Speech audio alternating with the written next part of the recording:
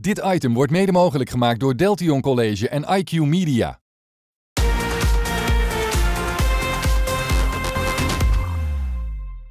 Marco van der Werf, geven jullie het hier vandaag weg?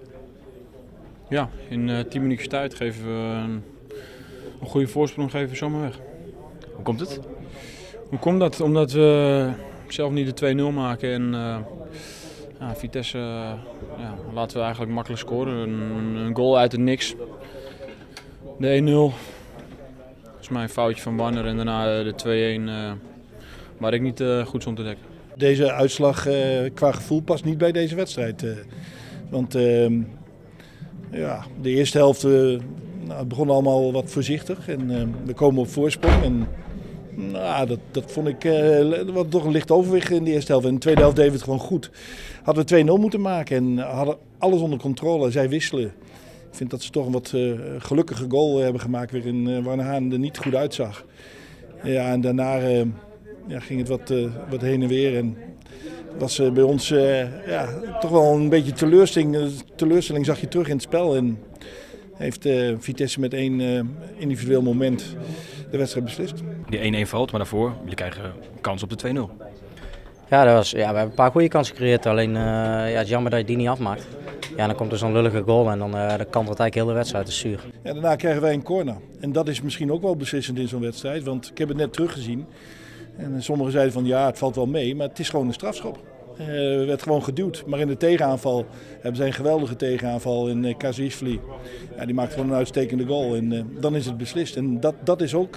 dat, bij voetbal is de afstand tussen de twee goals wat groter. Maar in plaats van daar.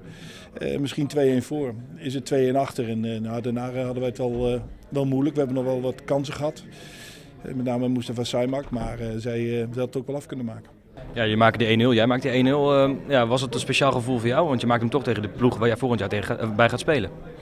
Ja, dat, dat was zeker een speciaal gevoel. Ehm, wat je zegt klopt. Je, speel, je scoort tegen de ploeg waar je volgend jaar speelt.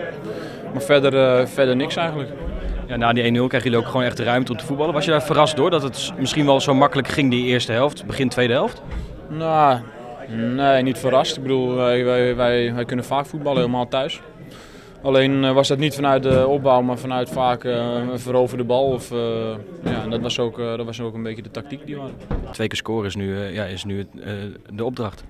Ja, sowieso. En als we in één keer scoren, dan ja, wordt het heel lastig natuurlijk. Maar ja, blijf voetbal, je weet nooit. Maar vooraf uh, wordt het heel lastig. Ja, maar als je terugkijkt op vandaag, uh, het is niet onmogelijk. Nee, zeker niet, want ik vond dat Vitesse vandaag ook niet, uh, niet super in goede doen was. Als je bijvoorbeeld een paar weken geleden zag tegen Feyenoord. Dat was ook een wereld van verschil, maar ja, ze spelen wel uit en op kunstgas, misschien dat het daardoor ligt. Maar ik denk dat ze zondag wel van andere huizen komen. Het is gewoon heel jammer dat je voelt alsof je alles onder controle hebt en dat je een winnende wedstrijd speelt. En, en dan kijk je op het scorebord, staat gewoon 1-2. opdracht is simpel, twee keer scoren.